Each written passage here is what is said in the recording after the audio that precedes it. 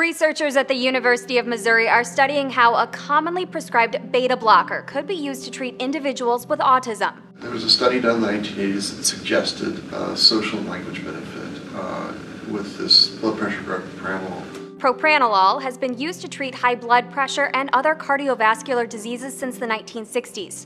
Dr. David Beversdorf and his colleagues wanted to explore other possible uses for the drug. In their study, individuals with autism who took the drug instead of a placebo showed higher scores in social skills, such as eye contact, nonverbal communication, and staying on topic. We were initially looking at it because of its use in test anxiety.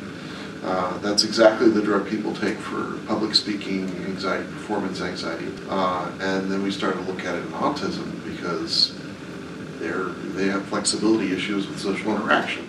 Propranolol is currently FDA approved to treat a lot of things. Autism is not one of them. An Autism Treatment Network spokesperson said the organization welcomes the research, but also warned it's still too early to start prescribing the drug to people with autism. This fall, researchers plan to conduct clinical trials that combine propranolol with early intervention therapies. Beversdorf said the trial could take up to four years. For Newsy, I'm Catherine Beek.